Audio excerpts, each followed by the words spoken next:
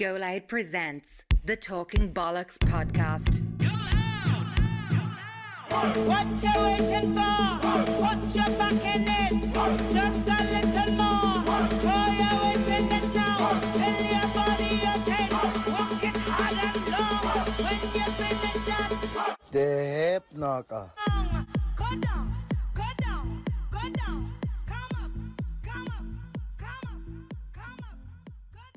Episode 62 of the Talking Bollox podcast brought to you by Go Loud. It's me, COB, It's me, Terry Flower. and today we're joined by Roddy Collins. Roddy Collins. How are you, Roddy? Or Roderick, as I was christened. Roderick, the big Yeah, when I was in Cabra, it was Roddy or Rodney when I was growing up. And I- you know the way the, the song, uh, what's his name? Johnny Cash, A Boy Called Sue. Yeah. Well, I mean, imagine being called Roderick in Cabra back in the fucking 60s. Help you, little sap, you Roderick. You know, so yeah, it's Roderick when it suits. So here, they used to call you Rodney, but you come in here dressed as Del Boy. There you go. Yeah. There you go. There you Right, go. before we kick this off, I have these little two little messages here. So these are the last two ever tickets to our live show next Friday, 4th of March in Liberty Hall. And for you to be in with a chance of winning these, we're gonna release a special word in this podcast. The magic word. Terence has it picked out. I'm not gonna say it yet. You won't say it yet. When you get this magic word, you need to email it to info at goloudnow.com. Right, boom. That's that box up. I'm gonna jump into the zingers, Roddy. Did you ever listen to an episode of this? We did. Yeah. What you think of it? Well, that's why I'm here. Love I'm here to that, sort the pair of yous out. Two, two townies moving up to my patch in Cabra. Nah, I think it's great, lads. I'm, I'm actually proud of you. You know, two good young Dublin men Yeah. having a bash, Yeah. going the right road, doing what's right in life, and I'm, I'll give you 10 out of 10. So, Nice, pleasure, lad. pleasure to be here, boys. Pleasure to be here. Legend, mate. Legend. Yeah. That's just all ours, Roddy. But don't use the C word. If you use it once, right? Me and you out there, I'm a heavyweight, right? Out there, right? Right. A dance off. We do a thing The called. magic word is not the C word, though. No, no. you get that out there, yeah. See you next Tuesday. None of that in this yeah, podcast. yeah, Um, we do a thing called zingers, Roddy. Yeah. yeah. It's just like an either or or a would you rather or something like Yeah. that, yeah? But we're at our wits end with them, so. Would you rather? These are, don't even want to ask you this one. Right, we'll jump into the next one. Right, see when you're training cardio, Yeah, would you rather train in cold weather or warm weather? Warm weather. Warm weather, yeah. A hundred percent. Always. Even no, no. Even when I played professionally, I loved the real hot warm days. I loved it. Yeah. Yeah, the You know, cardio. you can't breathe. No, no. Oh, I- oh, you no. start off and you're already tired. No. Ah, no, no, no. Well, you're obviously not hydrated. You know what I mean? You're going back in the day. Well, when we played football, our hydrate rehydration was a In the game on pub. a Sunday to the bar as quick as possible. 12, 15 points, couple of bottles of wine on Leeson Street. We'd be still wrecked by Tuesday. But no, I, I love the sun. Yeah. I actually always train. I'd, I'd actually rather live in the sun, to be honest with you. Mm. Would you, yeah? Yeah. I spend a lot of time out in the in the sun. Yeah. Not for the sun. I don't sunbathe, but walk and I do a lot of walking and sea swimming and that. So For the vitamin D. yeah, Yeah. yeah, a Good bit for of peace. We'll have to go for the sea swim one day, shall we? Yeah. Oh yeah, well the forty foot. Yeah. All I, I over. brought I brought bar. Carlisle down there when I was when I was manager. Carlisle brought them. I only lost two of the players. Paul, I did. I swear to God, Paul Raven, Paul Raven, and Stevie Livingston, and they seen a a bleeding boy that was it wasn't that fair. I'm a good house fan, but they had to go, and they got caught in the current, and they barely made it back. And I was praying that the current would take them off to a brutal. Re- release two wages from me. I'm only joking. They were great lads. They were, you know, great lads. yeah. But you're asking about the oh. zinger. Uh, I thought the zinger was a burger. Because when we I played in the north of Ireland, right, we used to stop in Newry on the way back and we go into the Wimpy. Was it Wimpy or was it what's your man, the Captain Corner? What was his name? The chicken KFC. something like that, yeah. And we used to get a zinger burger. That's the only time I heard that word before. So the zinger is it. Yeah, yeah, Yeah. Someone sent us that before. I Yeah. didn't realise Yeah. that. Yeah, Zinger, Zinger Zinger out KFC. Where yeah. did Zinger come from? We don't know. You come up with it one day. I think Gavin Power might have come up with that one day. Yeah. I thought it was you. You'd have said it one day, and I was like, all right, we'll call it that. Zinger then. So it's going to be a new word in the dictionary, is it? Yeah, yeah, yeah. Rephrased for Fair talking play to you, bollocks. lads. So the percentages was 67% rather train in cold weather, 33% for warm weather, yeah? Yeah. Right, the next one. What was this one? The calves licks or the calves lick, yeah, drive-ins, yeah. yeah. So would you rather have two bad calves licks or two bad drive-ins? two Where bad calves- calves legs. How do you mean drive-ins? Do you know where, where a hairline goes in? Ah, like that. Yeah, but that's fresh. That's not going anywhere. Yeah, It's really. not died by No, Tell that's not died What? You're, you're 60 years of age. and you still have your 61, 61, Yeah. 60 in the Wikipedia because I forged my birth cert back in the day. I got a I got a birth cert out of the blue line, right? The pub? Yeah, Yeah. the blue line. Name Fields done it for me. Before I, before I went to England to play football, I was 25, and uh, that was a bit old. So I went down and got a little job done, and sent it away with a few letters and got a contract in England for two and a half years. So yeah, that's the That's, two calves mad. leagues. I'd rather have two calves leagues all day long. yeah. eighty percent of that of the calves, legs, twenty percent of that of the drive. Yeah. Yeah, boys. Yeah. The next one. Right. th- Terence is afraid to ask you this one. Right. This is what we had from last week. Because Roddy. remember they asked Roddy Doyle something like this along along them lines, and he went white. He did. Yeah. It says, "Would you rather have sex on the beach or in a car?" And we don't mean the cocktail. Mm-hmm. No comment. No comment. You don't have to answer it. It's grand. No comment. No, we leave it at that. Leave it. Yeah. Well, you have to answer this one. This is one we ask all Go ahead. Yeah, go ahead. Do you piss in the shower? No, No, you're a liar. you're right. we, we- we know we know where we're coming from. Aye.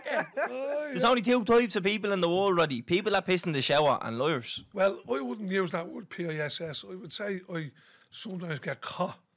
You know, at my age, it's very hard, like you know, and uh, to leave the shower when it's lovely and warm, and to go three feet over to the urinal or whatever you want to call it. I'm a bit lazy there now. So yeah, I am Billy Lord on that one. Yeah, Well, yeah, there's no, I have no shame in you, it. you, Yeah, all the time. most of the time. About the If- swimming pool.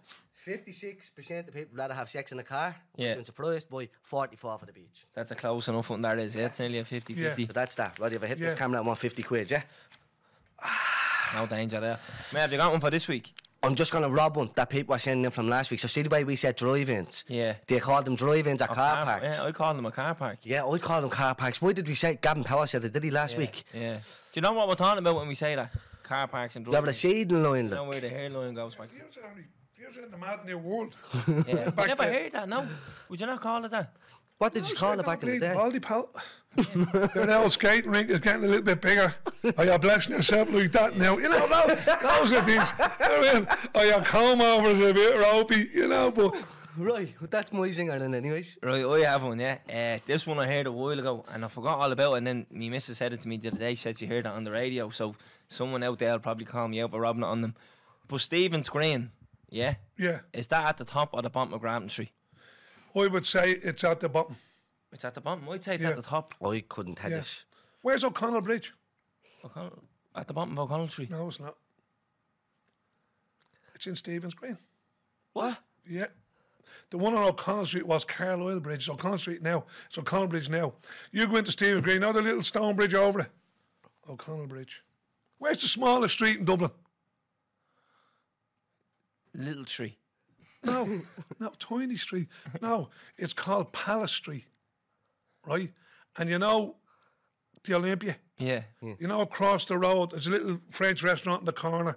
You turn left down to the George pub. You know where your man was pouring the drinks down everyone's throat, and they shut it down Yeah, yeah, yeah. in there, right?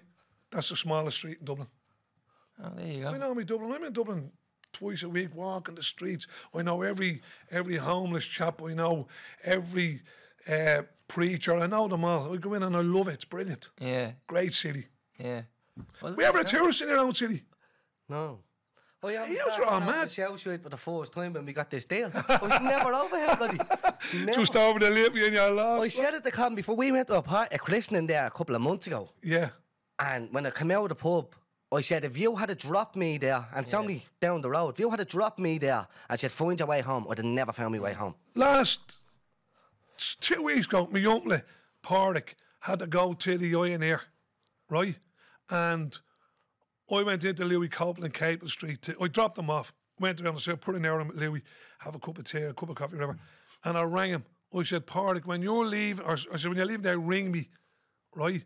And I said, I'll meet you in Harcourt Street. Now, the Ioneer to Harcourt Street, five, ten minutes walk. Half an hour I couldn't find him.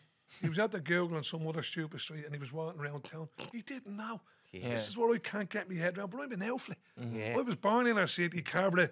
My wife had Devney Guards, I hung around town. Yeah. My first disco was mm. town and the whole lot. So, but it's a great city. Yeah. Yeah. no, Everyone should get to know it, you know what I mean? Do you know what? What could that, Roddy? If you told us a name of a street, I wouldn't be able to get there. But if you told me like a place, I Yeah. know where that is. Do you know what I mean? If a that sense. landmark. Yeah, yeah. I'd- Exactly. I'd, get that quick. Look, like back in the day, they'd say, they'd say, I'll meet you in Capel Street, right? What's the nearest pub?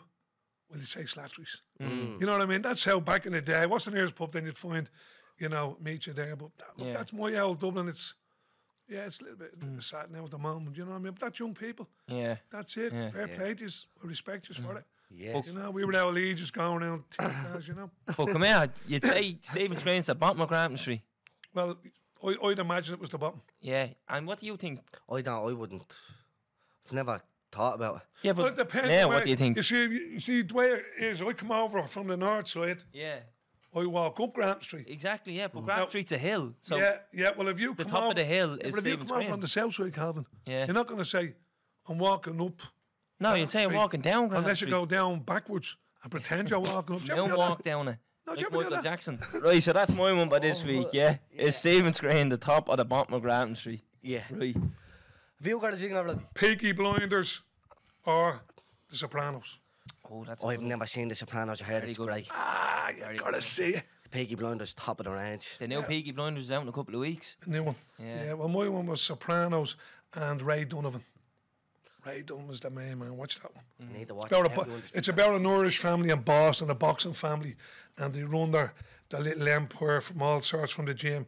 But they've a, they've a, uh, the, the main man in the family, Ray Donovan. Ah, it's brilliant. Yeah. I've seen it, but now I haven't actually watched it. I've You, seen like it. You know what I mean? probably be a bit They- old for you, yeah, a bit Yeah. dated for you, Yeah. but I can relate to, What's going on? yeah, because I've yeah. been there, you know, with the boxing and that, and you see Yeah. all the, the shady things and the gyms and the, Yeah. you know, the different carries on, you know. Yeah. Mm. Right, so there's a there's a couple of them there, but it's nice one, Roddy. Yeah, we'll take two them. good jingers there. Yeah, Yeah, you yeah. came here prepared, didn't you? Fresh. The Oh, we did. didn't? Yeah. What's what's the old saying? Huh? Be prepared. What do I can say? Be prepared. Yeah. Yeah. Fail to prepare, prepare to That's fail. the one. That's the one. Yeah. Yeah. We take it back a bit. Yeah. Right, Roddy. What we do is we go back to the start a bit Yeah. with the guests, yeah? So, where did you grow up? Grew up in Cabra, 12 Animal Terrace in my granny's house. Yeah, my dad was born there and he stayed with me, me nanny, when all the, the brothers, five brothers, they all got married in the whole. So my mum moved in and then we were all right in there. Yeah, number 12. How many is this? There? There was six of us. Yeah. There was seven. My little brother Pascal, he was he died young. Uh, he was between me and my other brother Pascal. So there was there would have been seven, but unfortunately there was six. And me nanny, me mum, me dad, and you know what size the camera houses are, mm. and we'd frost on the inside of the window. That's the truth. We'd mm. frost. There was no heating back then in the house. It was coal. And my ma grew up every morning before anyone had a big coal fire blazing Yeah. bit of breakfast. It was a great happy home, you know. Yeah. And uh, that's yeah, that's where we started off, you mm. know. So when Stephen won the world title, you go, "Jeez, how did a- how did how did a fella of a little gaff like this mm-hmm. progress and go to America and get in a mix with the top men, Haglers and all that?" It was just, you know, the, my dad was a, was a great man. And my mum would say, "Get out there, don't mind anyone." Yeah. Just get on with it. You know what I mean? Get on with it. So what? And and see this thing about can you do anything? I can do anything. You ask me anything. Ask me just go on. no, ask me can I do anything? Tell me can I, go on. What can you do? No, you ask me. Can, can, can you paint the room? No problem. Right? I don't know if I can or not.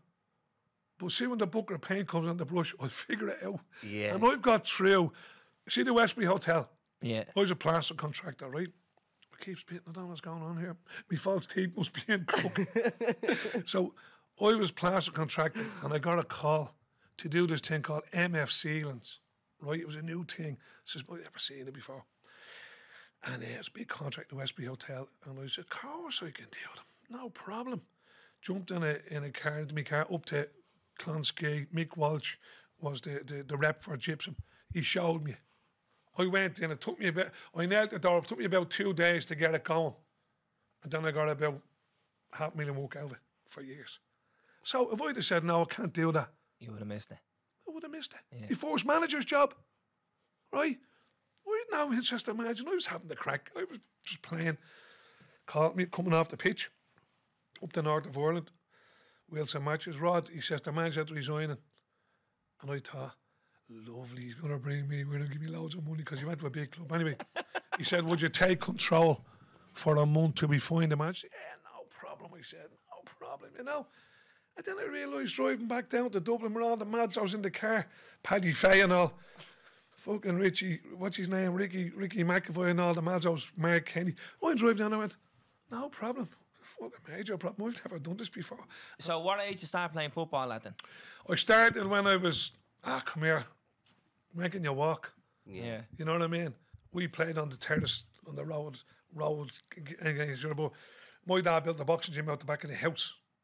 So every single male in the Collins family and my ma's side, the O'Rourke's, me, me, me, me ma's brother was the heavyweight champ, and Roddy O'Rourke's the first ever to box in that side of the family.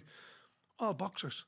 So, So, boxing first. oh, boxing. Boxing was everything. yeah. When I started playing football, I thought, this is a bit of a Nancy boy, this fella. You know what I mean? He wants to play football. We're all batting the head off each other. So I played football. I played football um, from a young age, but serious football was the mini Olympics up in the Bogies in Cabra, where we started with Tommy Miles. And then uh, the first serious football was under 12, and that was Shelbourne. It was, sorry, it was it was Villa United first, and then down to Ringsend, Shelbourne, when we were 13. And we got on a bus. You got on the number 22, the 22 out of 12 in the Cabra Road to Dorset Street, and the number 3 the Ringsend. And you'd be only 12 or 13 with two blokes out of Killala Road Les Clinton and Jerry, Jerry, oh Jesus, he'd be raging. Anyway, it'll come to me. And your dad wouldn't even know you were playing football. Wouldn't ask you, like, you, you, it wasn't like that. Yeah. You know what I mean? It just everyone just play it, and that's what we done. Then what happened was, I remember, uh, we'd be in boxing, sparring, boxing, training, be coming home with hard blood up your nose. You know, to be no no headgear back then. I remember you'd be in school having a kip, and you'd be, oh Jesus, the fucking pain of that. Or you'd be blood up your nose and all that. And then I started looking at all the superstars on telly playing football, and I thought forget about Roberto Duran and Muhammad Ali and Sugar Ray back in the day that me dad used to get us all to watch. I want to be one of them. That's where the love for football took over. Who would have been the footballers that you would have been looking at back then? George Best. Yeah. Ah. I seen George Best. If you go back in the years, it would have been about, I think they won it 1968, did he? Celtic 67. Mm. Yeah. I was eight. Yeah, first thing. I was eight watching Man United when they won the European Cup. And George Best, ah, oh, and Brian Kidd was 19 that night. It was his birthday. I'll never forget that. I remember watching that and thinking, oh, I'd love that. And I went through all the schoolboy stuff, got trials with the, the schoolboy under 15s, didn't get on, got into the national youth, international uh, team. Got into that, right? And but before I got into that, I went on my first trial to England for three months. I guess who was playing at the club I went to? Who? George Best. What club was he playing by then? Fulham. Fulham. Yeah, he was coming down with his career. And I remember, oh, So you met him? I met him, hi, yeah, he was a lovely, lovely fella. Lovely, like we were we were 17 at the time. He was coming to the end, but he was a superstar. But he come over and had a chat with us. Was me and another lad, my Devney Gardens, went over and he, he went home after a week. He kept saying, we were in a big posh gaff in Richmond, right? And uh, we were getting red cabbage. We didn't even know there's such thing as red cabbage. You know, and fucking all sorts of mad food. And Paddy kept saying to me, my ma's making a stew today. My ma's bacon and cabbage on Sunday. And I go, oh, well." boy, I I wanted to do it. And he went home anyway. But yeah, so that was it. That was a love for it then.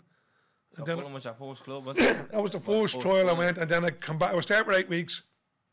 And I thought I was signed a contract, but I was only signed as a registered player. I was getting a, a, a expenses. I'd have done it for nothing. My dad come over, Arsenal come in, went over to uh, Arsenal, spent uh, a month there, and then I went to Wolverhampton Wanderers. And then I come back, uh, Eddie Corcoran told me to sign my balls. He says, we'll keep it, look, see how you develop.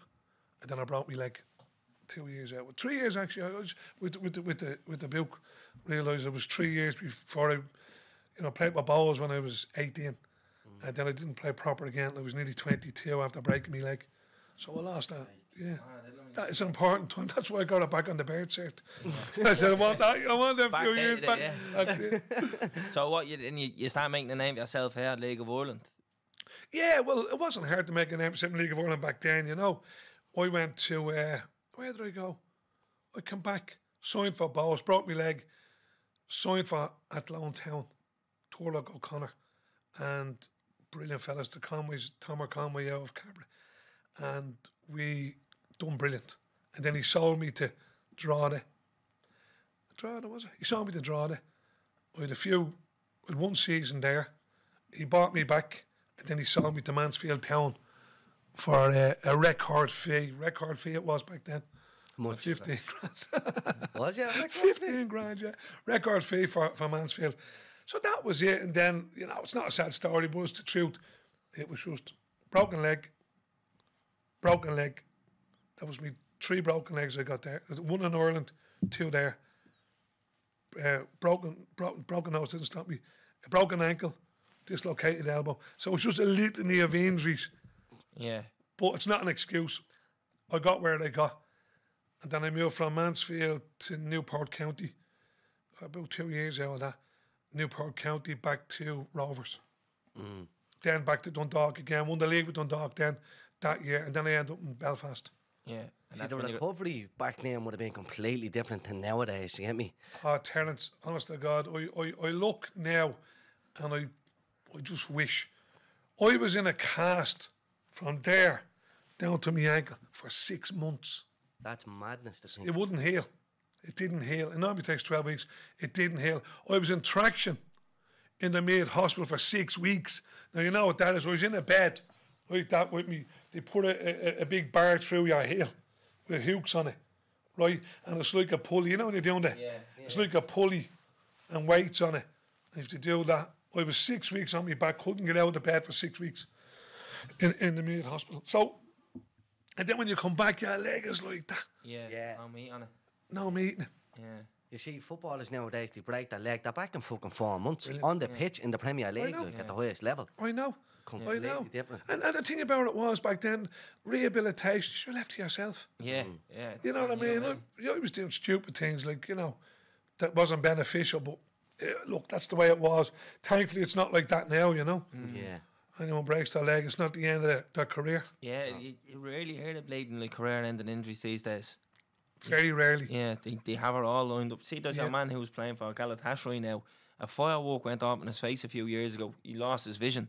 He made his. Uh, he started playing again yesterday for Galatasaray. He had like something like so many operations on his eyes. Like he was blind, Brilliant. legally blind, and now he's back playing football, like pro, like pro, pro, pro ball. Like Yeah. you know what I mean? Yeah, it's legal Yeah. though. Like ev- everything they have a solution for these days. Yeah, yeah, know, like yeah. that. Well, back then it wasn't like that, you know. But look, that's the way it was, you know. But you dug in.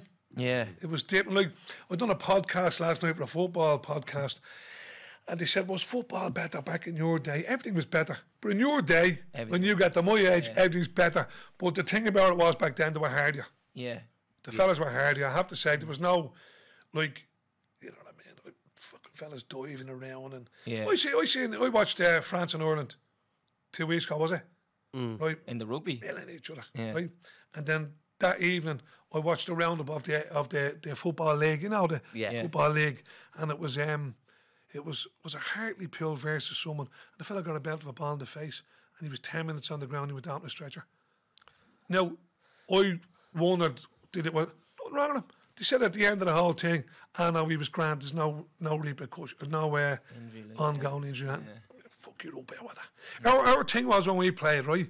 We played with that. Bang. Yeah. Like that's it. I got away with more than them. I got it. I wasn't born like that. right? Five kids now head bored. but but like the thing with us was growing up, if you're hurt, you're hurt. Yeah, Yeah. And you can't get up. Yeah. You know what I mean? Mm. If you're not hurt, you get up. You don't show him he's hurt you, and you make sure you hurt him before you're finished. That was the way it was, rightly or wrongly.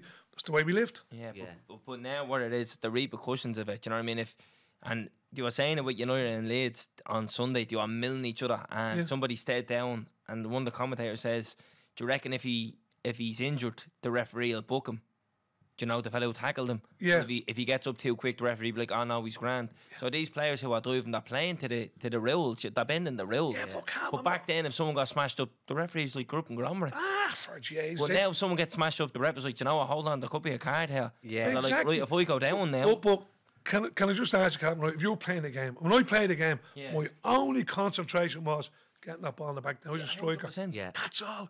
I didn't care. You know, you'd play with broken toes. And I, used to, enj- I remember I brought my toe and I used to inject it. Well, no, the doc can inject in the home games. And on the away games, I'd bring the syringe with me in between the web, round my little toe, and then a half time top her up and play. Imagine doing that nowadays. You know, they'd say, of, say yeah. you were putting bleeding speed or something up your toe. You know what I mean? Yeah. Yeah. But getting back to the so the mentality of it, it just like I watched that Legionary game. Wasn't it great? All the tackles, the game. rain, the whole Great game. No one was hurt. no, No. No one was broke up. And people enjoy that. You know, that's Mm. what we need. Well, I don't know. As I say, I need to stop being a dinosaur, but I'm happy in my own skin Yeah. where looking back. My But no, it's you need that physicality. It is a contact sport. You know what I mean? Like where do you draw the line? If Yeah. if two people are coming in to smash each other, you'd be like, right, well, you can't. You're gonna take that physicality out. yeah. And what you But can't. tackle Calvin, them. the thing about it is, if the two of them are coming in to hit that ball, happy days. Yeah. Let Yeah. them at it. You know what I mean? But I've noticed the amount that's coming in over the. See, see, back in our day, if a fella got a name for doing that, he didn't last. Yeah. Yeah. Honestly, like I remember me. I said this last night. My first ever game for Bohs was against Dundalk in the President's Cup, and Dermot Keely was playing for Dundalk, and Joe Bug was the captain of our team, and I was eighteen. And I was had to come in out with a gym. We fancied myself, you know. And he said, "Me, man's a herb." And I was I fucking sorted him out, you know. He was a good brother than me. And I remember I went in and I whacked him. Ah, Jesus. And the ref had a word him. So I said, I have him now. But his mates, they didn't, and I got stretchered off. Yeah. You know what I mean? So it was like, back then it was like every man for himself, but respect at the end of it. Yeah. But never to go over. Like, my, I got my leg shattered, mm. right? It was a fella who didn't know what he was doing. He's playing with UCD, a student who didn't know how to tackle. He didn't mean it, but he smashed me tib and me fib. It's like a nest hook it was on the ground. He didn't mean it. If he'd done that on purpose, the word would go around the leg. Yeah. Yeah. Yeah. Sort him out. Yeah. Yeah. That's not on. It's like in your own business, what you're doing here, whatever you don't do, Yeah. Yeah. or you don't do to another podcast or whatever. Yeah. Like the way you don't do. It's like, a manager. coming in and stinging them or whatever. You know what I mean? Yeah, yeah, it doesn't last. Yeah. It doesn't last because what happens is reputation is everything. Yeah. Even to the extent where I always say, you can have all the money in the world, but when you die, the most important you live is your reputation. Yeah. That's the most for me. Yeah. For my kids to grow up and not be ducking away. Oh, my dad was this, and my dad was that. That's the most important thing. So it's the same in any business, and and in football as a manager. I think I'd be safe enough to say if you track down 300 players, if we've managed that many, probably a lot less. If you can get two or three, maybe that say I'm a bastard, right? I'll tell you why. Other than that, I've always, always done my best for them on and off the pitch. Yeah. Yeah. And that goes through. So if I sit down to sign sign the parties, right, and some other man's there, you've got the Billy coming in, rather look after you. Mm. If Yeah. he says you're getting a tenner, you won't get nine, you won't get eleven, you'll get a tenner. Yeah. But he'll look after you. And that works. And that's how it goes, you know? Yeah. Yeah. The word of mouth. Sticking to a word, yeah. So, see, see in your playing career, Yeah. what's the highlight of your playing career? The highlight of my playing career. Eh, Jesus. Let me think. Probably make me debut in Europe Yeah. against Por- Sporting Lisbon or Bohs in the in the UEFA Cup. I think it was called the UEFA Cup or whatever cup it was. What year was that? That was 1970 or, or September 1970. I just turned 19, September 1979, and we went out to Portugal. And the day of the game, I was told I was playing, and the fella that was playing beside me, Botley, he started absolutely planking it. And I said, "Oh, "What are you worried about?" He said, "The sixty thousand or fifty thousand. So blatant. What? We'll never see them again." We'll never see them again. It's not as if you're walking down Henry Street and everyone's going, you fucking dope, you fell over the ball, you know, you never see them. And there was no internet or, Yeah. you know what I mean? I went down and I thought, I, I, I went down, I went to a little world of me, own. I thought the 60,000 people around there for me. They're all there. We don't mind all these other fellas. I'm the man. Yeah. And it was brilliant. Oh, it was brilliant. And I remember you learn the levels. I remember the ball went over the shoulder. I wasn't the quickest, but I wasn't slow.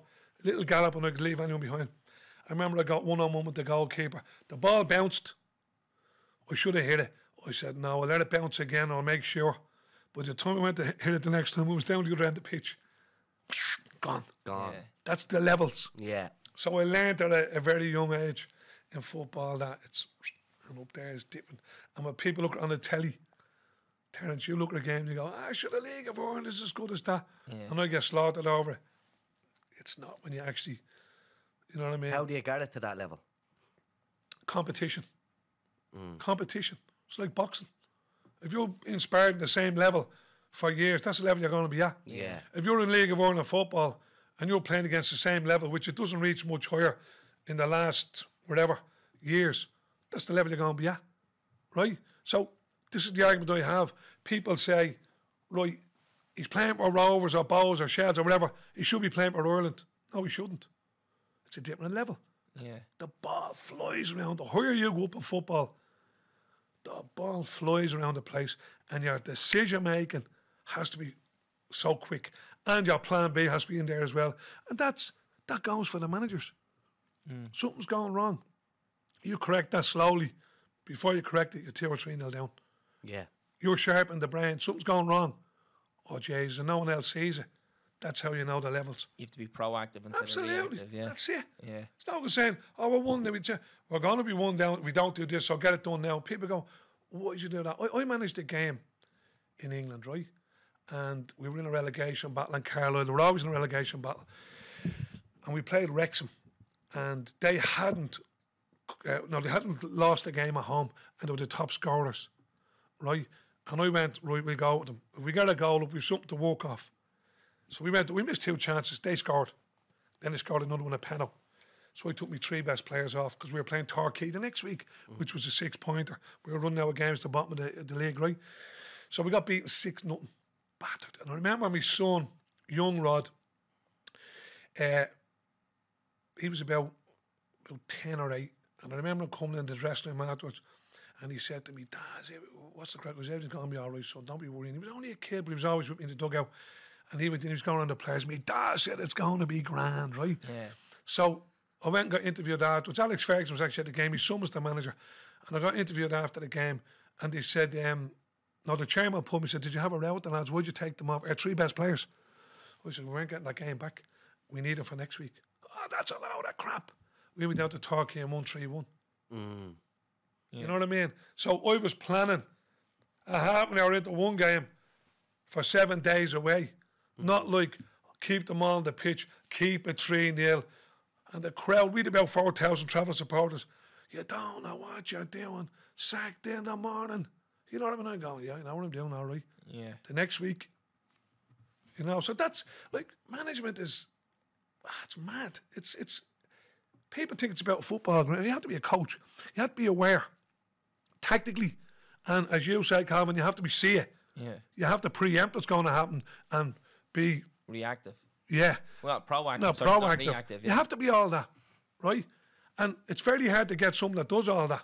Hmm. You know what I mean? And when you do, people can't understand it at times. What did you Hmm. do this? Why did you do that?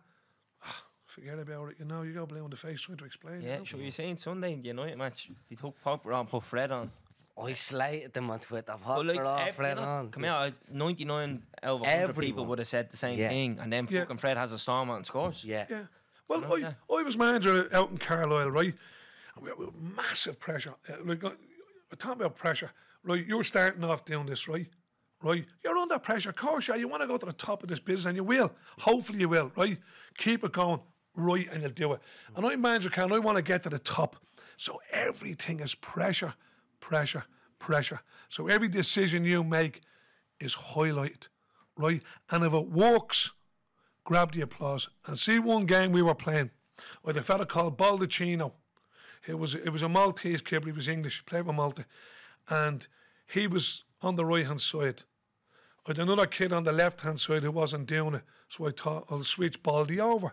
Now I'd be sitting, you'd be in the dugout, you'd be walking with me coaches, and I'd be going, for fuck's sake, Baldy, oh Jesus, Baldy, ah, Baldy, Baldy, Baldy. But in my mind, I'm thinking, I'm going to take him out, switch Baldy over.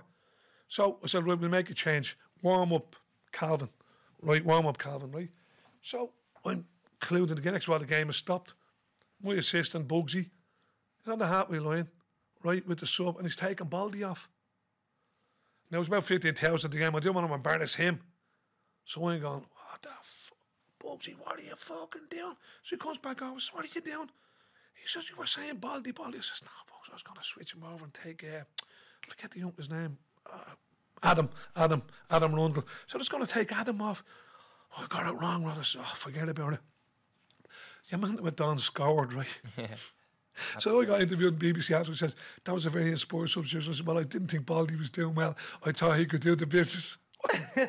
So last night, last night, yeah, man at United, if Fred had been crap, what would you be saying today? Yeah, you made the wrong So choice. Yeah. sometimes they say it's mistake rather than design. If you get away with it, take it. Because in football and what you're doing in any business, people there to bring you down. If you can grab that, ah, yeah, I, I meant think that. management is one of the m- hardest or one of the worst for being criticised though. Like every manager can be a hero and a saint one week and the next week kind of milk. Hasn't got a clue what he's Like doing. Yeah. it's But, the but, but. Terence, one minute, Mm, you can be a saint in one minute. yeah. I, I managed in a game where I took a fella off. He was a good player. People didn't know why. There was a reason for it. I took him off after about 20 minutes. Right? You don't know what you're doing, right? You don't. Anyway, I was getting a fucking pelters, I was, right?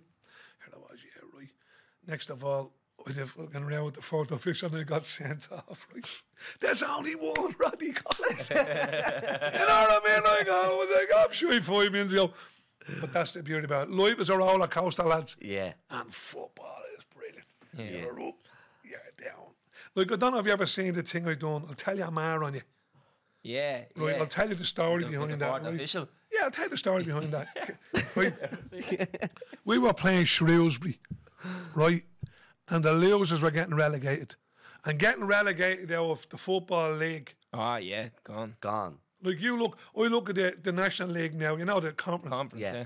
There's about eight teams that were in League Two or higher when I was managing England. Yeah. And they're never going to get back up, possibly. Right? Anyway, so we're, um, what was I telling you about there? The fourth Yeah. official. I'm the getting caught. I'm the getting caught at the moment thinking back that. Anyway, so we're there, big game, full house. The manager of them was Kevin Ratcliffe, great bloke, Welsh international. Anyway, had a hug. One of us was getting sacked in the morning, which we were. Whoever was gone was getting sacked. So we go and we go 2 0 down. And I looked into the dugout and I swear to God, the lads were getting smaller. Really, my eyes were gone. I put a fella on, he scored a hat trick, we won 3 2. And your man got sacked the next day, did he? Kevin never walked again. No way. Never ever walked again. I don't know if he sacked the next day. It's about four games to go. Kevin never managed again, and he was a stalwart. He was a stalwart. He was a top man for everything. Won the league with everything. Mm. Played for Wales. Great bloke. But I remember before the game, we did to his office, and I seen him on Sky before. We were in a hotel waiting to go down and play. And I seen him getting interviewed on Sky, and he was white, Yeah. right? And I went in and says, "Right, Kev, what's the crack?" He's, I says, "One of us is gone. One of us is fucking gone tonight." You know what I mean? And he goes, and how are you fixed? He says, over for you, Bob. I'm all right. He says to me, how are you fixed? I've nothing. I said, I've nothing. I had a house, in, I had a house up in Castlemaine. So anyway, he says, I said, if you aren't in the press day, he says, you have a bottle of brandy. I said, we'll get it out there. So we fixed two little glasses of brandy, not overboard. We're going to manage two teams. Yeah.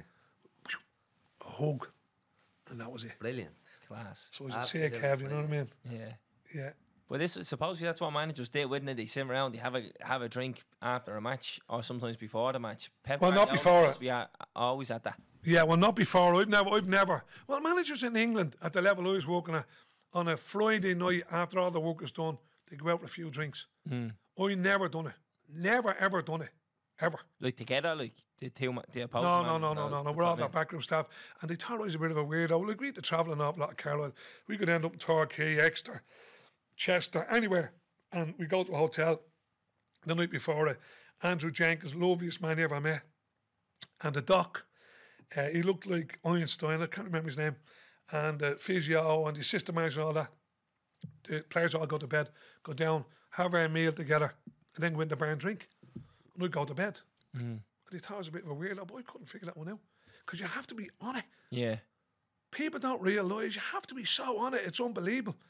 If you're not, you're not doing your job correct. Yeah. Mm-hmm. You know? So what was the highlight of your managerial career then? The highlight of my managerial career double. was, I would say, my first year in Carlisle, keeping them in the league. Actually, I was 14th. We were 14th in the league too the day I got sacked. That was the highest time we did it in years. And we were five games to go. We could have went into the playoffs. But I had a row with the owner because I brought someone in to buy the club. It was a big long story. It'll come out in the wash. and uh, he we secured mathematically enough points to stay in the league. So we were heading to Aintree. Me, Dave Rogers and Bugsy were Yeah. now we cracked it. And my stock was right up there. Lawrie McMenemy touting for me. I had Barry Fry sending me things. I was getting the the, the, the uh, Jeff Stelling stuff and all. This fella Collins done this on Bohs and he's over here and we knew I was on the way. That was me. So it was great, great relief. I could go home because me, my family was in Ireland. But anyway, um, that was the highlight. And then I got the bullet in the car on the way home. I, ra- I, I, I done an interview afterwards and I said, it's a joke. I said, I, a man came to buy the club. The deal should have been done. I said, Michael Knighton's a disgrace. He didn't do it. And I says, I'm resigning. And he heard the radio.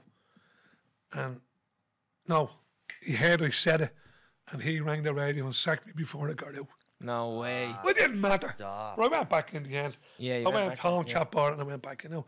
But um, that was the highlight. Yeah. It was, oh, I swear to God, lads, it was unbelievable. The relief. I remember the flight touching down in Dublin after that episode. Oh, Jesus. It was, it was the happiest man in the world. It was brilliant. Brilliant it was, you know. What's the lowest low of the managerial career? Because obviously the playing career is obviously the leg breaks and whatever. Yeah, with the playing, you don't. Highs and lows in playing is every time you score a goal. Yeah. Yeah. Or you win and you go into rumours and magnums. Yeah. Jump around like a mad joke, you know. That was the highs and lows. But the other stuff, it's not about you. When you're a manager, I'm worried about you, I'm worried about you. Yeah. Are they going to be all right? Are they too disappointed? So, you know what I mean? But the lowest, I'll tell you the lowest point, right? I got blocked from working, right? It's a known fact. I got blacklisted. And after about five years, I got a phone call to get interviewed for a job. And I went for the interview and I was there all suited and booted. And a half an hour went by past the interview time. There was no one there. I was looking a fool. And then a fella runs in. Sorry about that, caught in traffic. Blah, blah, blah, blah, blah, blah, blah. And walked out. And I thought, give us a bit of respect here, you know what I mean? Mm. I know I'm getting battered behind the scenes, but give us a bit of respect. And uh, next morning I was walking in the park with Caroline and I got the phone call. Like, uh, Karen said, oh, no, they probably already had given you the job. That's why they left you mm. sitting around all that. I remember walking in the park and I got the phone call. You haven't got the job. And I swear to God, boys, not to say took the wind down me. I don't know if you ever felt that now, right? Mm. Something sucks the life out of you. I remember sitting down on a little bank of grass and I said to Caroline, I couldn't get up. I said, can't go around and get the car. I can't get up. And that was the lowest I was ever. And Karen says, fuck them. Yeah. Get back up there. You have a talent. You've proved it. Just keep at it. And I remember getting back up, and I still didn't get a job for a long time. You know what I mean? Mm. But I still believe now I'll get back. And where did that come from? Why do you think the personal vendetta against you? Yeah, well, come here. I was I was never the the the shrink sh- shrink and violence. That's what you call it in the media about the way the FAI was getting run. I was always very outspoken and very very um honest about my opinions on that, hmm. and it didn't wash. Hmm. We all know why now. Yeah. Hmm. because it's come out in the book, Champagne Football. Yeah. I think of a little caption in it. I'd rather dig holes in the road than do what I was asked and told. Yeah. And I'm so happy I done that because I was shouting from the rooftops, this is not right. Yeah. And all the ones are going, ah, yeah, but they're all getting a few quid out, putting their head down, and you know. But anyway, look, everyone's different. We're all, we're all, as I always say, I'd rather be a tiger for a day than a sheep for the rest of my life, you know. Yeah. So that's why. That's what was happening. And I knew I sent the solicitor's letter to one individual who was who was banging me. He was really banging me, and that frightened him away. You know what I mean? But uh, it was torture. It was torture. You know, I tried to go back and I couldn't. I fucking got a lump there on the side. I went in, fell fella shouting, I was grabbing. Colin, you fucking wanker, you. Fucking manager of Ireland, you fucking dope, you can't even get the manager fucking bag split on it. now what am I gonna do? I'm not came fucking out or just walk out, just walk out, you know. Yeah. It was torture, but look, we're through it. Yeah. yeah. Brilliant, you know. What type of manager were you? Did you love a little team talk? What? Do you know what? Honestly, when I took over Bohs first, right, I had a plastering company, so I didn't do it for money. Yeah. I didn't do it for money. I'd been three years out of the business completely. I got it. I just done it for a phone call I got, and I went in, and it's easy. It's the easiest job in the world because it's not about me. It's about you. And it's about you. And it's about all the lads. And at the end of the day, I learned Turlough O'Connor. Turlough was very good to me. Gave me a chance as a manager in Bohs back when and as a player. And I learned if someone's kind to you, unless you're a proper little bollocks, hmm. right, you'll dive them. And I'm, I have a kind nature that can turn like that. Kindness and stupidity, I've that. That's the kind one, and that's the stupid one. And if you take me for that one, it's over. Hmm. But I would give kindness get it back in spades. And honesty, I've sacked players and had a cup of tea with them. Mm. You know How'd what I mean? go about doing that? You just sit down and say, Terence, sorry, son, but you know, I've stuck with you. You've in discipline three times, right? You're causing havoc in the dressing room, but I've a bit of a problem, Rod. What is it? Well, I'm taking a few drugs. That was one of the lads back in the day, and he had serious problems, and I know him now, and thankfully we have a great relationship. And uh, I said, Well, I'm sorry, pal, I can't carry them. You need to sort that out yourself. I've I've obliged all these other young ones and a club that are paying wages and all to go and march that way. I've done me marching with you, I can't do any more. And he started roaring and crying, and I swear to God, I was that much weight crying with him. Down in Ballybuck, I'll never forget it. Never forget it. and uh, I gave him a hug. And then I said, You want to go in and have a cup of tea? And I brought me a cup of tea. You know, and that's the way it goes. Like, it's only a game. You know, and if you're going to be a slaving and a snake, like I said to you earlier, you get the name, he's a slaving and a snake. And if you want someone to dig you over horse, say, geez, look, I remember Richie Foran. Richie's from East Wall. I played Gael- Gaelic East I was, I was around when Richie was born. He played for me. We played Bournemouth. And he got a kick in the face, right? Now, I took Richie from Ireland to England when no one would touch him with a barge pole. He was getting terrible press. He was sent off every week. He was fucking mad. But he wasn't mad. He's a brilliant fella. Has a great family and a great, great life now, a couple of properties and all that. But I took Richie over when he, when he, when he was in his worst period of time. And he, he said it to him. He said on a television show, he said, Rod said, it doesn't matter how I do as a manager. It's how he does as a man. You know what I mean? Yeah. And he is a man now and he has a family and he, he rings me regularly, he lives in Scotland. But Richie played a game and we were in trouble and he got a kick in the face. And I need him. He was our main man. I said, Rich, I says, look, I says, I need you. I says, don't come off the pitch, please. And he played on, right? And when the game was over, he went to the hospital. He had five fractures in his face. Fucking hell. We didn't play for what, 12? No, no, six weeks. And next time we played, he won them plastic The masks. mask on, yeah. But if I was a slaving and a snake to Richie, Richie wouldn't have done that with me. Yeah. Yeah. So it's like everything in life, give and take. So I think if you ask any of the players, I can honestly say, no matter where they go, walk around, around when I bump into an ex player, I always get a hug. Yeah. yeah. Do you know what I mean? I always get a hug. So do you think most of it comes down to more man management, one to one with fellas, 100%. than tactics? Oh, But you need tactics as well. You did, yeah, but would you reckon it's more more man management than? Oh, tactics? Oh yeah, well look, you see, we've all done these courses, right? We pay thousands and thousands, right, to go in and listen to someone fucking preaching that have come out and read it. People young are preaching to you on a course, and I've lived that in one leagues and managed in England, Malta. Anyway, had to do these courses, right? But in these courses, right, I, you, you can sit down and read a manual or look at the telly and study and go, he stands here and he stands there. And when he goes here and he goes there and he covers here and he covers there, that's tactics, right? And if they do that, we do that. That's tactics, right?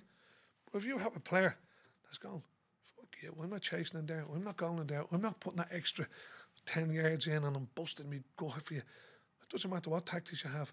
So all the tactics in the world which you need are only relevant when you have them players. Look at Man United. Look at Man United. Look at Leeds.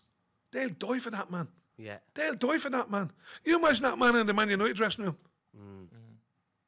Maybe they wouldn't have him because the superstars now Yeah. they're bigger than the managers. Yeah. What I always say, I always say this: if I walked into Old Trafford tomorrow, I'd say, right lads, everyone in their slips. The slips is the white thing you wear on the time. Everyone in their slips, right? No one bring their Rover, their their Bentley tomorrow. Everyone in their slips, and then you bring them all down. Take off your Rolex watch. Take the stupid colours out of your hair, and we'll all have a nice civil talk here together, and we'll go back where we came from. Because most footballers, they didn't come from elitist families. No. You know what I mean? They came from hard backgrounds. So we'll all go back and go, where did you get your first pair of boots? Me, ma. Where'd your ma get them? Oh, Jesus, it was a hard job. She had to go down to the tuggers. Or she had to go to, you know what I mean? Who brought you to the football? Well, my granddad brought me on the bus. Right. So who are you letting down? Who are you fucking letting down? That's who you're letting down. Mm. So put your Rolex back on now, lads, and we'll all go back out and play. This is it. You see, the reason why I can do it, I lived with a superstar, slept in the same bed as a superstar. My brother. Yeah. Mm-hmm. But to me, he's young. He's my young little, my little brother Stephen. So, you know, it's all perception. We're all the same. Mm. Just that I'm more handsome. Go ahead. So, come here, what do you think then when you say a manager getting sacked, Roddy? In England, Just in general. in England, you had Jeremy Bastard about three, six million going into that. In the lower leagues, terrible, horrible. It's brutal. It's horrible.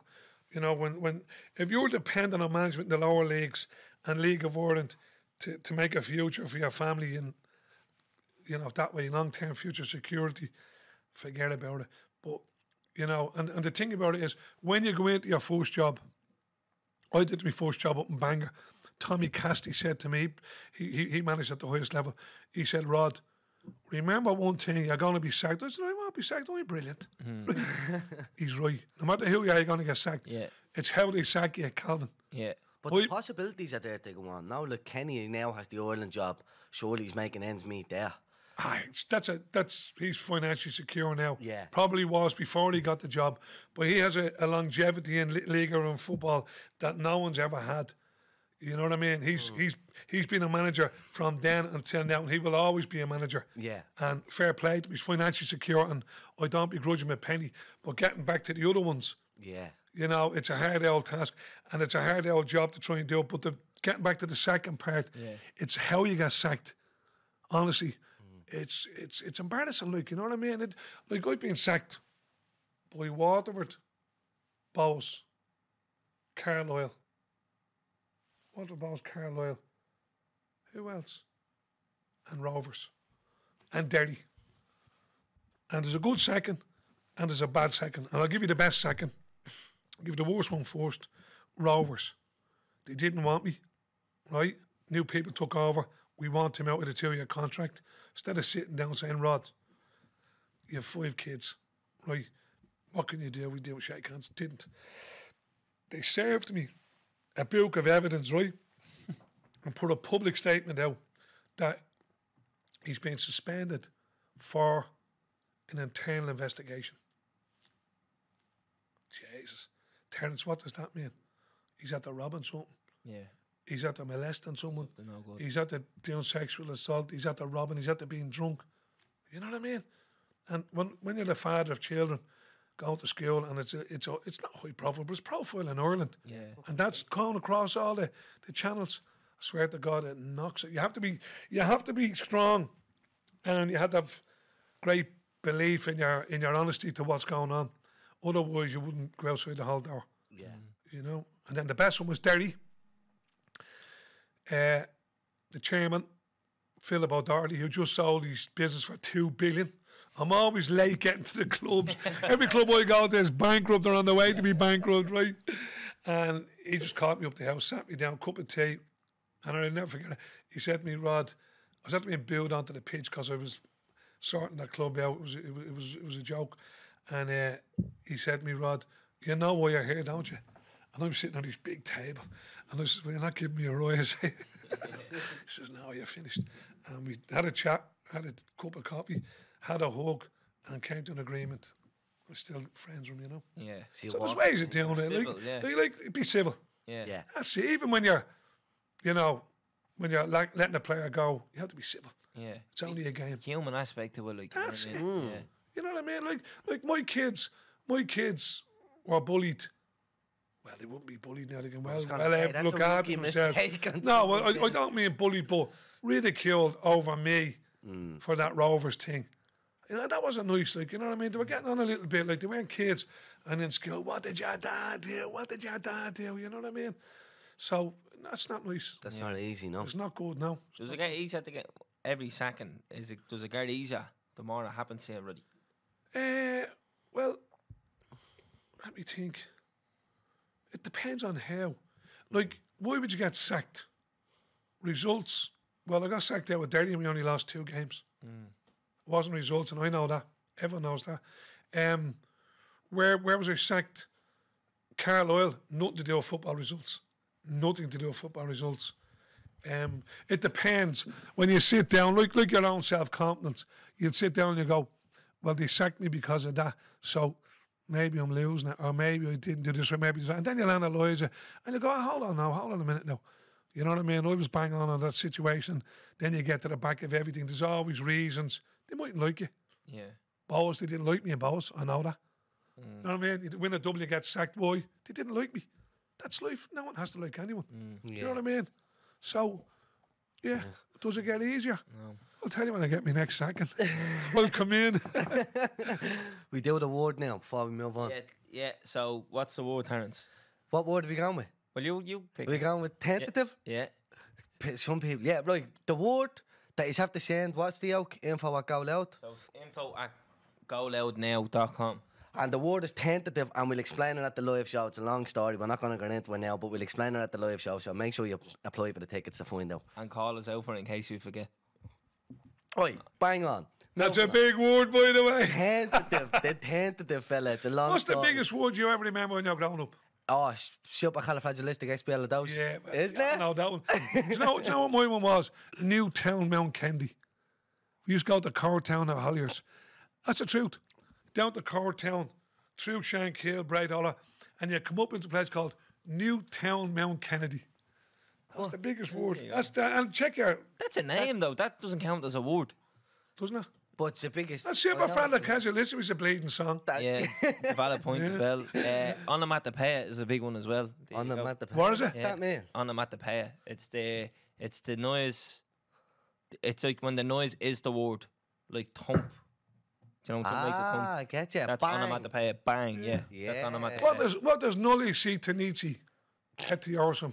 He played left wing at Carlisle. No, no, no. What what does that mean? Say it Nully again. Nully see Tanichi Tetty Orson. Is that uh, Latin? Yeah. How did you know that? I don't know what it means. So Uh, uh, guess. Like put it this way: if someone's coming down on you, no, they see. Nully no, see no, Nully Nully see Tanichi Tetty Orson. Don't keep getting Now, smart. now, an expert in the, the Latin, but it does mean Yeah. a certain thing because it was coming at me from all angles when I was younger. Yeah. And a fella leaned into me ear and he said, No, see, Tennessee Tetty or something. I went, He's off the fucking wall. Fuck off. I need a bit of support. Do you know what it means? What? Don't let the bastards get you down. Yeah, well, there you go. Learn something new every day. Every day. There you Get go. out There, There you Have it, That go. one, Roddy. So you know Latin and all now. And big words. Come here, Roddy. What you think of the League of Ireland today to back in your day? You know, we players have- are fair. The players are technically better. Yeah. Some of the grounds are better. The rest is crap. the attendance has gone up in, for most teams. Yeah, good. yourselves. Yeah, good. And long may it last. I was in Tolka on Friday night. Um, the attendance has gone up. Uh, the players on which fair, technically it's better, it's quicker.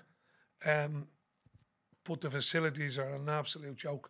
Yeah. Tolka Park is a dump. Daly is a dump. Oriel's a dump. Finn Harps is a dump. Drod is a dump. Bray is a dump. Who are we missing now here? There's not many that I didn't say is a dump. Cork's all right. Rovers uh, Tallaght is fantastic. Derry's a lovely little stadium now. Thailand You know, would be probably better than some of the fucking teams in the championship in England. well, it wouldn't be. It wouldn't be. Up well, there. no, it'd be more modern. Yeah. But you know, Carlisle should be a championship team. Yeah. right? And that, that would be a, a proper football ground. But I was I done a, a thing last night. I was in a game in England in uh, oh, Wimborne, the seventh tier football, right? Wimborne. Before the game, I sat down, right, and they sent me the menu. It was chicken something and white wine sauce with um, roasted uh, potato skinned somethings, right? It was bleeding chips, by the way, but it was, it was chips. And I sat down before the game in a beautiful big warm arena or, or indoor venue. Had that, about 200 people there talking. I went out, sat in a little stand, probably about 2,000, maybe maybe only a 1,000 seater stand, smaller, but it was great. It was warm, it was well sheltered. Billiard table, left at half time. I left before the game, so I'll have a coffee at half time and a, a sandwich. Went in, back to the table was the coffee, me sandwich, and afterwards I went in and the, the, the away team had a meal. That was the seventh tier. Mm-hmm. You know what I mean? On the pitch, they wouldn't last in two minutes in League of Ireland. Maybe the fourth division they get away with it, but they wouldn't last against Rovers and top teams. But it was a great day. Yeah. Yeah. You know what I mean? Like Tolka Park tonight, I thought was brilliant because I was watching from a, a coach's and a manager's point of view for for Damien Duff. What could I see there? But see the rest of it, miserable, freezing, horrendous it was.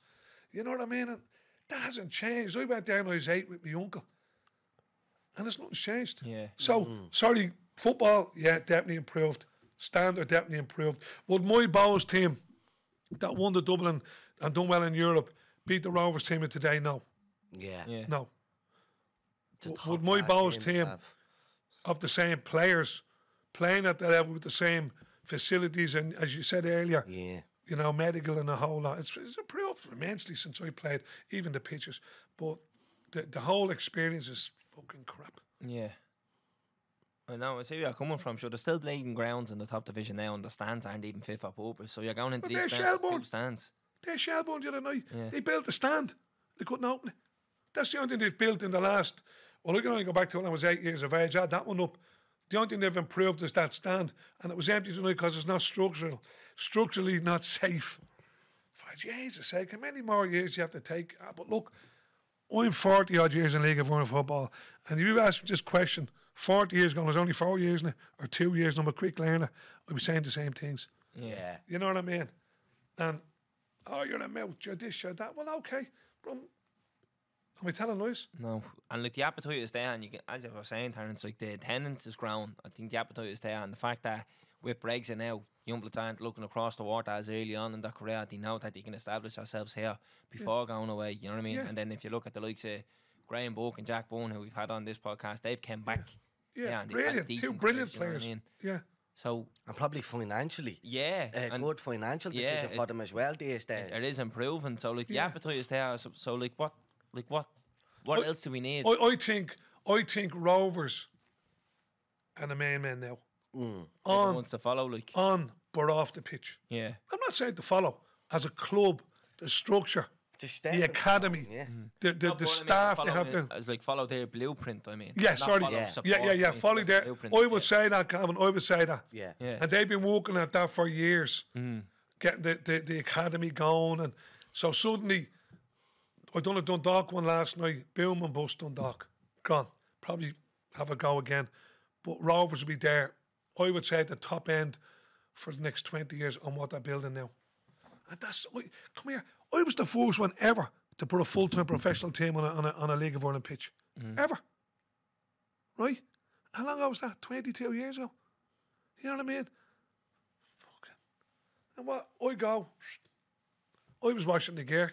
Me, me, me missus was helping to wash the gear. Oh, I was trying to make it professional. You know mm. what I mean? Because I wanted to be right. And we got the success out of it. But as soon as I got the bullet, they threw money at it. We made a profit at Bohs, by the way. When I was the manager, people said to me, Oh, your budget. My budget wasn't the biggest. It was probably the fourth biggest in the league. But because we got the European, the James, loads of on that. You know what I mean? People need to know that there was money made. and But then, look, you know what I mean? Yeah. Yeah, well, I said, bang the head off a, off a wall, honestly. Mm. I'm fed up. Yeah. But there's young people out of country. I ask you a question, right? Go back in the last 20 years. How many managers have won doubles, leagues, cups that are still young enough to manage? Because it's not it's it's not a, a- it's it's it's not a young man's game anymore. Because it's fucking all coaching and, and t- or all tactics and, and and and talking, right? Name them. You can't. I could name, and I'll name them now. Darren McKeely won multiple trophies. Pat Fenlon, multiple trophies. Paul Doolin, multiple trophies. Damien Richardson, multiple trophies. I've had my fair share of wins. You got Felix Healy up the north. You got Pat Dolan. All still well energised and well able to keep going. Why I not working in the League of Ireland? Because it takes you in, sucks all your enthusiasm, everything you have, out the other end. Then you get another load of young fellas coming along, like you've the, the lad Bradley up in And Rovers. Rovers, but he's in a good environment. You've you've the lad in Donnelly, Donlan, what's his name? O'Donnell. I had him in Cork. You have him. You've got Tim McClatch up there. Come back in five years, six years. Where'll they be? It just eats you up, drains you. What did Damien Duff say the other day? Getting the team ready is great. Everything he says, but the SHIT I did do before this game was wearing me out. What do you think he's talking about there? Well, I'd say he's talking about planning the, the pre-match meals, uh, making sure the, the, the dressing room is, is equipped properly, whatever. Like football, you out and play a football match. Yeah. Oh, they're planning to have it right for the lads. Like today, that's going like that'll rattle you. Do you know what I mean? You you you go in. We played we played Halifax in a game one night in England, and I had to go to a meeting, and I follow on down in a car. And when we arrived, there was relegation. We got they, they were relegated that night. It was a Good Friday, and I remember we were coming down, and my assistant rang me says, "Rod, we're in the ground here." He said, "There's no lights in the dressing room." And I said, "So?" He says, "They're acting the bollocks, right?" And I says, "Well, start the sing song." He says, "What?" I said, "Start- "You know a load of songs." He's from there. He's great man. Sing a song. so we started singing the song. They're all singing the song, and they went there. They're not getting rattled. Five minutes later, the lights went back on. Yeah. Do you know what I mean? But they would have been rattled. Mm. Like when I was manager at Carlisle, ain't the Southern clubs coming up, right? The the Luton Towns or the the Leyton Orients and that, right? Of water on the dressing room floor, right? Fluorescent lights take most of them out. Plug on the wall, disconnect it. No music. Depressing, lighting, and wet floors. And battering him. Mm-hmm. Because the minute they walked in, they went, fucking hell, mate. Mm-hmm. Fucking kip. We're Yeah. nowhere wait for you here. That's all. The thing. And preparation. Everything. You had a good story about preparation about when you went down to Waterford with Bohs. Yeah. Tell us that one. Well, that was that was probably what you call usually initiative. I'm on the bus going down. We had a big game playing Waterford, and we're going down on the bus. We're cutting traffic on the Geo carriageway. You know, you're thinking, and next of all, we get the the bilio. There's work on the bridge in Waterford. The road is shut off for a certain amount of time, and the lads are going, "Oh Jesus, we'll only get ten minutes warm up, five minutes warm up, blah blah blah." But I said nothing, you know. So I just thought, I said, "Lads, right, lads," I says, "Um, kick off is at half seven. Put back the quarter eight. We be grand, right? Pull the bus off the side of the road, took the gear kit out, picked the team on the bus, put the lads in their gear, had the team talk, gave them our post match food, right? Which was a little bit of pasta and that. On the bus, we arrived much more prepa- better prepared than they were expecting us to arrive. They were going, these be all over the shop. So, do you know what I'm saying? If we'd have just said, oh, Jesus, and arrived and the rep gives you 15 minutes, get your gear on, get out, warm up. Rattled. No, gro- oh, you'd be rattled. Yeah. I've seen it in boxing. I've seen Stephen getting into the ring against Nigel Benn. And we were waiting for the ring walk, right? And I only seen it on the telly during the other night. And we're standing there. And next to it, it's fucking bit that cold in the tunnel, right? And Stephen's out there warming up, doing all his work. And we just want to get into that arena and fucking 20,000 and odd people. It was rocking, right? And he's going mad to get in and go. And I remember Sky coming over no, no, we're not ready, we're not ready, we're not ready. Right? Now, a weaker person could have got rattled. I think we could have been 10, 15 minutes waiting there. It mm. didn't bother Stephen because he was unbelievable. He was unreal. Yeah. I've never met a more focused man. So that didn't rattle him, that inspired him. You know what I mean? You adapted to it, yeah. That's mm. right. Nah, that's right. They must be have a problem here. They're trying to get trying to get at us, you know what I mean? Yeah. And Now, then- do you think Duff is in for a shock at, at Shels? Well, I said, I said recently, if Damien Duff leaves Shels, it won't be for results or football reasons. It'll be for all the other stuff. Yeah. Everything else that goes on. Yeah, well, he might be prepared great with his club, and he has his house in order. They could arrive up to. I won't name any ground because I don't put anyone down, but it's possible because it's happened to me. Could arrive at a ground where the shares are cold. You know, you could arrive at a ground where the pitch is not playable really. You could arrive at a ground where um, there's no heat in the dressing room. You know what I mean? No, you'll get over it and you'll put up, but it gets you down. It can get at you. Yeah. Yeah. You know He's what I trying to implement this high standard of football and quality and everything else that goes with. As you said, it's not just about what goes on the pitch, it's after and before and Ah. preparation and what have you. He's trying to implement all that, like that full time professional lifestyle Yeah. and everything else. It's And I external factors going against it. Yeah, it, it killed you. Honestly, Yeah. It killed you. Like I remember one game in Bohs, and there was a fella in there, an individual who didn't like me, right? And I remember we were playing Derry, and funny, it was only on the telly the other night. It must have been an FAI Cup game, and I went down to get the kit, and I brought my son with me, and I counted it, and he counted it in a little room under the stand. So everything was perfect and left there. And the next morning we went, got the kit and put it on the bus to travel. We got the dirty with no nicks. We'd no nicks. You know what I mean? Someone took them out of the bag. We played dirty with blue nicks. It's on the telly the other night. I said, ah, Jesus. We'd red and black, black, and, and their blue nicks. That was a conspiracy. Now, I could have let it get me. You know what I mean? I said, Jesus, the blue looks will have the black and red. I'm convinced. At least he'd be able to pass with each other. But that happened, you know, like it's honestly, it's fucking torture. Mm. Yeah. Torture. Right. Talk to me. I just want to find out. So, your brother, obviously, world champion. Yeah. Well, what was it like the night became world champion for the family and stuff like that? Do you know what, Terence? I, it's hard to believe, right? It's hard. It's not, not, do you know what? I texted a fella last night. He texted me a little thing. I said, I still pinch myself. It was, you know, I talk about pride. Yeah. people say you have children, you, you pride. Of course you do. Yeah, yeah, yeah. But this was a different level of pride. This was like, Jesus, my little brother is the champion of the world. It was unbelievable. Yeah. It was like, it was like, because we were reared on Muhammad Ali, Roberto Duran, Sugar Ray Robinson, you know, and like, it, a world champion boxer to us was someone up in the moon. Yeah. Not a young Carberry. Yeah. You know what I mean? It was beyond, beyond your wildest dreams ever imagine that could happen. Yeah. You know what I mean? Yeah. But um, I what you call it? Oh Jesus!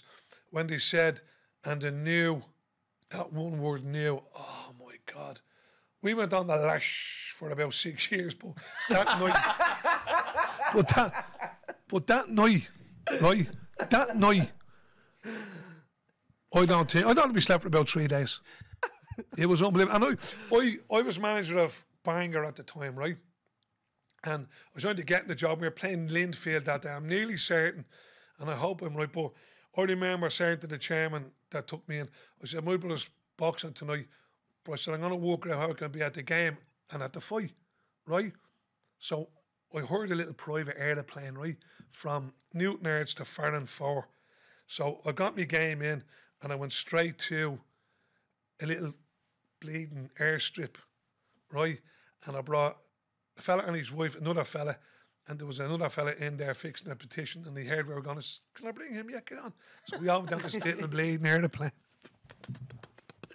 right? And I went down, and the pilot got locked, and he had a slot to go out the next day. I have to have a slot. And uh, he missed that, and he missed the next one. So I think he got out the next day. But the high, and do you know, honestly, I swear to God, fellas, I tried to write it for what I'm doing. It's so hard to explain. You know what I mean? It's so hard to explain. Like, I don't know. It's just words, words. You know, I my little brother for Jesus, said he used to want my side to bet me. Yeah. And I'd sling him over to the other side and jump in. You know what I mean? and but he deserved it. Yeah. Yeah. He was, oh my God. you're talking about dedication, determination, preparation, you name all these things like they learn on courses and guts. And guts. Oh, what a man. What a man. He was the toughest man. He still is the toughest man that's ever walked uh, this country, in my opinion, you know? And some of the most historic fights as well. Yeah. In Irish history. Yeah. Like obviously the big ones. Well, going down to that one, I mean, my Caroline went down with all my families. Obviously, I flew down the next day, but she went down and she rang me. She says, "Rod, it's unbelievable." She said, "It's about two thousand people at the weigh-in." Yeah. You know what I mean? That was unheard. of. You barely get that at fights at the time, you know. And when you come in on the big Harley Davidson, Yeah. Oh, and on oh, your bike and your bike, and everyone was there. You know, a week later, everyone was there. I mean, there was two million people there. Yeah. You know, we went on the lash. We went on the lash for six years. We walked, parties were everywhere. It was great. We had great crack. And, you know, how are you, Rod? Yeah. Oh, I was in Millstreet that night. Oh, jeez, that's great. About four million, you know. Yeah. But it was great. Uh, uh The question was, what did I feel like? I honestly, honestly can't explain the. Uh, the You yeah, still can't was- into words now. yeah, the euphoria, the pride, the the sadness that my dad wasn't there. That was horrible, you know. That was horrible. But the pride that my uncle Terry was there. He was my dad's. He boxed with us, you know. All the stuff rolled up. The pride for the whole family. It was just after Cabra. And for the country though as well. But the country as well, yeah, you know, and ah, it was brilliant. Brilliant it was. Brilliant. And Stephen would often ring you up and say, put on Sky Gold. And he'd say, I can't believe that's me in that ring. It's mad. Yeah, and he'd say, Yes, we're having a ball. He was in fucking fighting, you know. but it was, that was great. Brilliant. Great journey it was, you know. And you're in the middle of working on something at the moment. Yeah, I'm, I'm, I'm in the middle of doing a book at the minute Yeah. with Paul Howard. So, It's gonna be Pete- good, Pete- that. Pete, I couldn't tell you, but Well, that's all you can tell us, yeah. yeah, but you'll hear about it, and I'm sure you'll give me a little plug. Yeah, we will. We will. Hope so, lads. I hope so. Well, you I'll be us plugging the, you. Yeah, you give us a copy of the book. here, We'll give you come a plug. We stick together those little dubs, you know what I mean? yeah. now, you won't be famous down the country, by the way. it's the dubs. All right. Boxed off Yeah. now, I think. Anyways, we're at the being heard about 12 hours at the ruddy fella. Yeah. Yeah, good crack this was, Roddy. Thanks for coming in. We really do appreciate that. Yeah. so don't forget the word is 10. Oh, sorry, sorry. Oh, here we oh are. no, I won't be able to go home. Me daughter, Lauren, idolises the Perdies, by the way, right? Right. No ideas. Shout Right. out to Lord, you legend. Lauren, yeah. I'm Lauren, for. Lauren my for little. Lauren, who can lift 220 pound, and I'll show you afterwards, right? So you'll know 220 pound deadlift, Yeah. right? And she's a little slip of a kid. Dear But she Anna, said, Perry, yeah. yeah. luck. So Lauren, my little daughter, Shout out to Lord, you I legend. nearly forgot. Up there to go Yeah. home. You'd have been battered I'd when have you been get home. battered, battered around my own house Yeah, again. you would have been staying in Cabra, not Castleknock That's tonight. it. That's it. Oh, All right. Well, we wrap it up. So the word is tentative. Yeah, Get on. tentative, yeah. Info at goloudnow.com. Send her in. The last ever two pair of tickets. There they are there. Look at Yeah. that. That's mad, isn't it? That's off the block of about 2,000 under the table, but there you go. I know. You know, it's mad looking at that. Do you know what I mean? Ticketmaster and all. Like, Get used to it, lads. Mm. Make the Phil and Croker. yeah. But No, see, I why never, not? I never Why seen not? any of these when I was younger. Well, there you go. Because I used to bunk in everywhere. right, we wrap it up. Take us out, Keno. Boom! Subscribe to this podcast for free on the Go Loud app. What you waiting for? Put your back in